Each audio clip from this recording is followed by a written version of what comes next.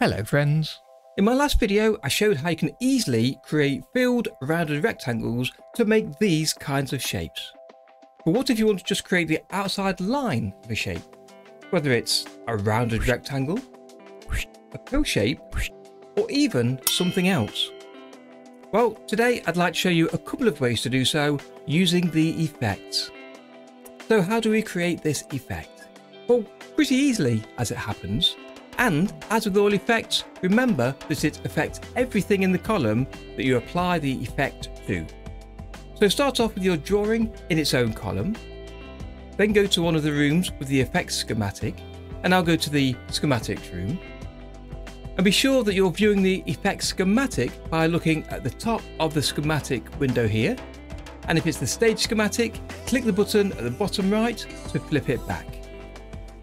Then the effect to add the outline for Toonz Vector and Toonz Raster levels is in the Toonz Levels section and it's the outline effect. So right click on your column and add that and then turn on the preview at the top of the viewer you'll see your shape with an outline. And if you double click on the outline node and then adjust the thickness you can set its outline thickness. Then all you have to do is to remove your original drawing to leave only the outline. And to do that, you need to add the matte out effect from the matte section. So we'll apply that after the outline node.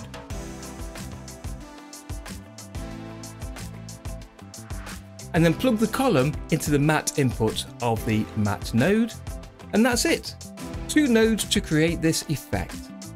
And then once this is set up, you can double click on the outline node again and change the line thickness from there. Notice that the outline is the same colour as the outside of your drawing. So if you want a different colour, just change the colour of your shape.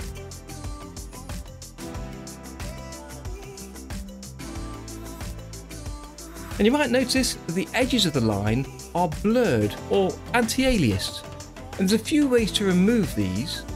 One of them is to add an adjust levels node from the image adjust section and then we'll reduce the alpha input. And the more you reduce it, the less alpha you'll see. So drop the input down to 1 to get a solid outline. And that's fine for the Toonz raster and Toonz vector levels. But what about plain raster levels? Well, I'll show you how to do that in a minute. But first, if you found this video useful, please do give it a thumbs up as that helps YouTube know that the video was useful to you. And I also want to quickly thank my Patreon supporters for all of their support. With special thanks to our Teapot supporters, Maria, Robert and Rodney, who along with the supporters on my Teamug tier could all watch this video a week early simply by becoming a Patreon. So why not check out all of the tiers in my tea service and start getting the benefits of becoming a supporter. So back to the outlines. To add an outline to a standard raster level, you need to use a different effect. And again, add your raster image or animation to its own column. And then in a room with the effects schematic, we'll add a new effect for that column. And that's the erode dilation effect from the matte section.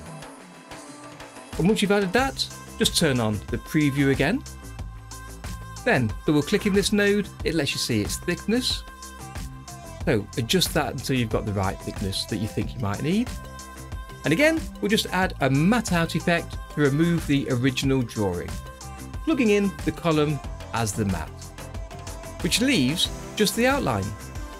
So once you can see the outline, that's when it's useful to set its drawing type, either to square or to round, and to set the line thickness. So that's how you can use the effects to create an outline only of your drawing. Why not try it out for yourself? And if you wanted to see how I created the rounded rectangle that I've been using today, you can check out last week's video just here. Or check out this video for more useful OpenToonz tips. And I'll see you next time for another video.